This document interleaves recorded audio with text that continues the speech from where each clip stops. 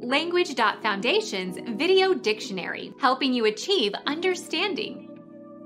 A radical reform in China initiated by Mao Zedong in 1965 and carried out largely by the Red Guard. Intended to eliminate counter-revolutionary elements in the government it resulted in purges of the intellectuals and socio-economic chaos. Cultural Revolution